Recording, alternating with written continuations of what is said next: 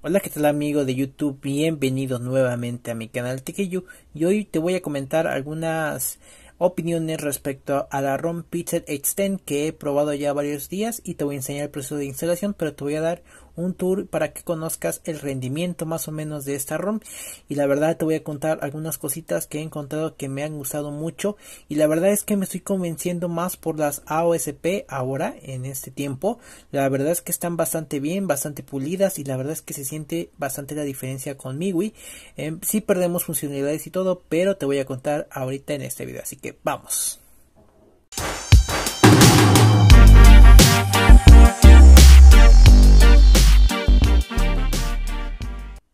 Y bueno amigo te voy a contar rápidamente mi experiencia. La verdad es que me ha gustado mucho el rendimiento de esta ROM. La verdad es bastante buena. Y bueno, ¿cuál es esta ROM? Eh, la ROM se llama Pixel Exen UI. La verdad es que está bastante bien, bastante bonita. La verdad es que el rendimiento, la interfaz y todos los gestos está muy fluida. Eh, no contienen personalización, sí. Tenemos muchas personalizaciones. Ya podemos configurar el sistema. El lock screen el status bar, el hardware, ¿ok? Aquí el hardware podemos, por ejemplo, controlar la música mediante los controles de volumen y para retroceder o avanzar dependiendo del caso, ¿ok? Entonces, la verdad es que esta es una ROM muy completa que he encontrado, la verdad, y que he usado bastante bien. Ahí tenemos la cámara de Google, que es la, la cámara Go, que es la de los dispositivos que tienen Android Go. Pero la verdad es que se ve bastante bien y funciona bastante bien, ¿ok? Bastante versátil, bastante rápida, ¿ok? Todo funciona de una manera fluida, son las aplicaciones que trae, son bastante pocas, pero lo que más me gustó es que trae una especie de Dolby Atmos, Moto Audio se llama, optimizado por Dolby, que es una aportación creo que de dispositivos Motorola pero igual nos da algunos preajustes que podemos seleccionar ya sea nuestros altavoces, nuestros audífonos o nosotros o cualquier dispositivo que esté conectado vía Bluetooth o por cable, ¿ok? Entonces la verdad es un, eh, un sonido bastante agradable, la verdad es que me gustó y me gustó mucho eh, el sonido que da porque se sienten ya unos bajos que de verdad son increíbles, ¿ok? Respecto a la personalización, como ya les dije, es bastante buena. Ustedes pueden personalizar, pueden agregar cualquier launcher, funcionan los gestos sin ningún problema. Ahí como podemos ver los gestos de Xiaomi. Los podemos cerrar y abrir y funciona todo a las mil maravillas, ¿ok? Entonces amigos voy a contarles un poquito sobre el rendimiento y les voy a contar también que está certificada, esta, esta ROM está certificada con el parche de seguridad o el nivel de seguridad L1 que es para reproducir contenido en HD en Netflix, en Disney Plus. Pero en Prime Video todavía tiene ese error de que no reproduce en HD. Así que en Prime Video sigue igual, no reproduce en HD, ¿ok? Entonces te voy a encontrar un poquito más del rendimiento y te voy a ver, te voy a enseñar lo que nos da en puntaje en Antutu. Que la verdad es bastante bien. Y me dio 67, 67 mil 670 mil puntos, perdón. 670 mil puntos.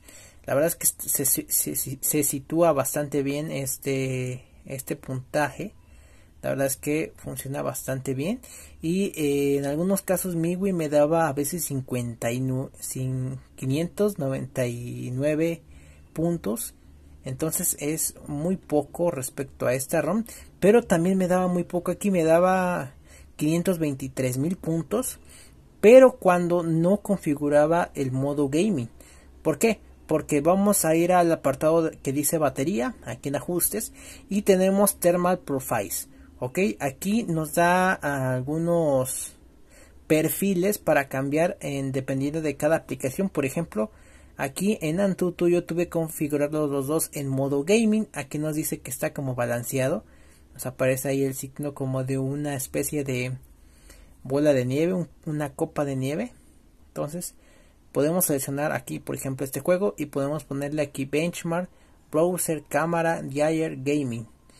Nosotros podemos configurar el perfil que nosotros queramos, por ejemplo en el llamadas, aquí nos da una opción. Yo creo que esto es para ajustar ya lo que es el teléfono, ah, para que consuma menor consumo de batería, ¿ok? Entonces es una es un cambio bastante bonito y la verdad es que me gustó mucho esta implementación para que podamos eh, configurar nuestras aplicaciones desde ahí que eh, que funcionen a máxima velocidad o que sean juegos, ¿ok?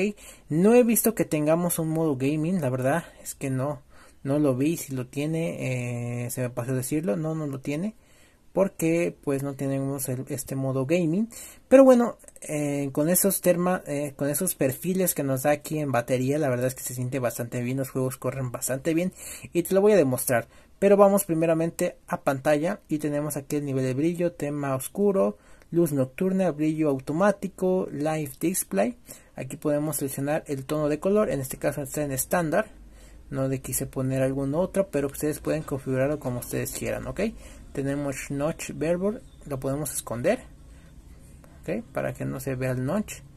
Entonces vamos a ponerle default. Pocket detection en pantalla ambiente display features en doble toque para bloquear o doble toque para desbloquear y mínimo mínima tasa de refresco tenemos 120 y 60 nada más ok acento de color para configurar los temas y la verdad es que es una ROM bastante completa y bueno, lo que me gusta es que pues, viene certificada, funcionan las apps de banco. Yo, por ejemplo, tengo aquí mi cuenta de NU, la podemos ocupar sin ningún problema. Tenemos la BBVA, entonces funciona bastante bien sin ningún tipo de problemas esas aplicaciones bancarias, ¿ok? Ahora vamos a pasar con el apartado de gaming. Te voy a enseñar rápidamente el juego de Henshin Impact. Que la verdad es que lo corre bastante bien. Te voy a enseñar la configuración gráfica que está corriendo para que no se haga tan largo este video, pero la verdad es que es una de las ROMs AOSP que más me ha gustado. He probado ya varias, las la Gentais, eh, la... ¿Qué otra les he traído?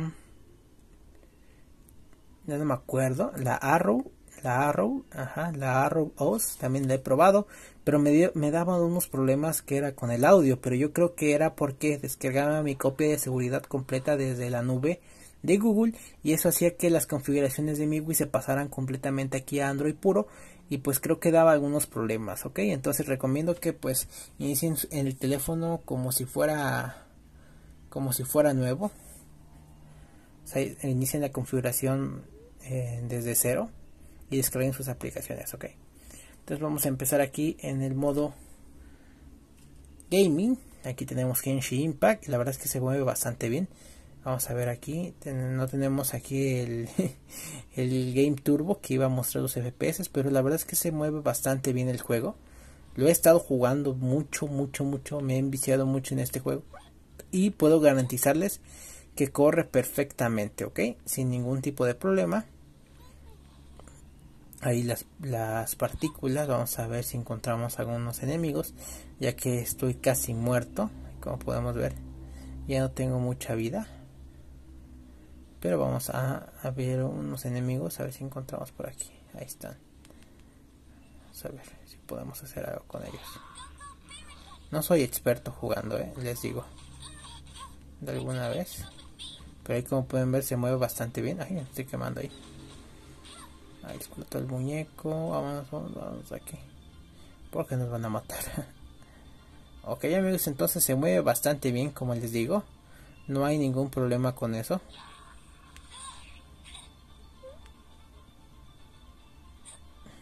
entonces se mueve bastante bien vamos a lanzar ahí el muñequito para que se quemen los esos adversarios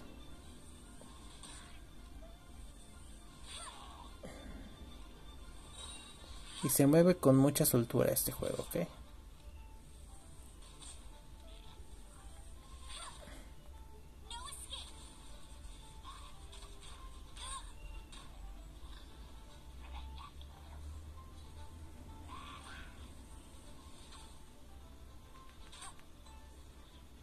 ahí está. Entonces se mueve bastante bien el juego y no hay ningún tipo de problema que se presente aquí podemos hablar aquí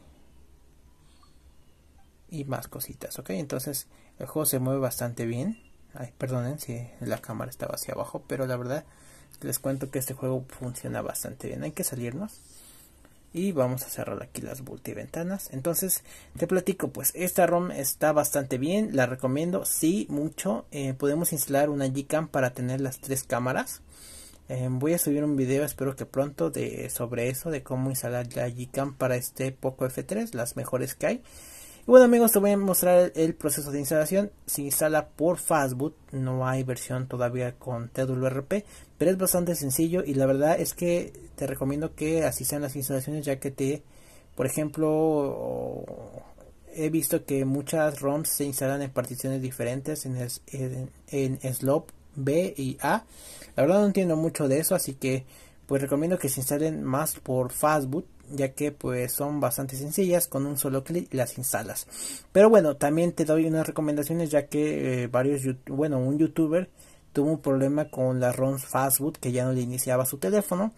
Pero te recomiendo siempre que cargues tu teléfono hagas una copia de seguridad que instales un TWRP hagas una copia de seguridad para si quieres volver y que pues cargues correctamente tu dispositivo, que no lo desconectes y que tengas mucho cuidado al instalar estas ROMs, ¿ok? Porque con cualquier ROM puedes tener algún tipo de problema, así que te recomiendo que siempre seas consciente de qué instalas y qué no, ¿ok? Entonces vamos a dar con el proceso de instalación. Y bueno amigos, vamos a empezar. Eh, lo primero que tienes que tener en cuenta, pues ya te dije, tener la batería en un, en un porcentaje bastante alto, arriba de 50%. Vamos a apagar nuestro teléfono, vamos a ponerlo en Fastboot, aplazando volumen abajo y power. hasta que nos aparezca el logo de Fastboot, ¿ok? Bueno, el desarrollador nos recomienda que tengamos la última versión de de, la ROM Xiaomi.eu en su versión 12.5, ya sea la Xiaomi.eu también o la ROM global, ¿ok? Entonces en la computadora vamos a tener, vamos a descargar la ROM, vamos a descomprimirla y nos va a quedar una carpeta como esta, como pueden ver, PixelSen Alio 11.0, eh, la, la versión que voy a instalar y que es oficial mediante Fastboot, ¿ok? Entonces aquí tenemos varias cositas que, que, tenemos, unas carpetas. La verdad es que no tengas que mover mucho, pero aquí también nos incluye el root para que eh, con un clip demos root a este dispositivo igual por Fastboot. Y tenemos también la opción de update. Esta update se instala cuando instalas actualizaciones de esta ROM mediante Fastboot, ok, simplemente le vas a dar aquí y ya está, esto no elimina nada, pero cuando instalamos la ROM se elimina la partición data, así que va a ser un formateo del almacenamiento interno, así que te recuerdo que tienes que hacer tu backup. Entonces voy a ver si está grabando, si está grabando, ok. Vamos a darle install y format. Ok, y se va a estar instalando ahí. Ahí como podemos ver, se está ascendiendo boot en la partición A. Es, es lo que les digo, que se instalen en, en varias particiones. Bueno, vamos a esperar a que cargue. Como podemos ver, se está iniciando aquí el teléfono. La verdad es que toma alrededor de 10 minutos. Toda la instalación es básicamente sola. Como podemos ver, el recovery de Pixel Experience. Vamos a esperar, esto se instala de una manera constante, no tenemos que aplazar nada ya, simplemente va a ser el proceso único, no tenemos que mover nada. Todo lo va a hacer la computadora bueno, voy a pausar rápidamente el vídeo y ahorita regresamos que instale, ¿ok? Bueno amigos, ahí ya acabó el proceso de instalación. Vamos a ver nuestro teléfono, ya que acabe toda la instalación y ya se cierre la ventana de comandos, podemos desconectar nuestro dispositivo y esperar a que inicie la ROM, ¿ok? Entonces, como ya les digo, las recomendaciones del desarrollador es que tengan la versión más reciente de MIUI 12.5, que es la 12.5.02, creo y pues eh, nada más.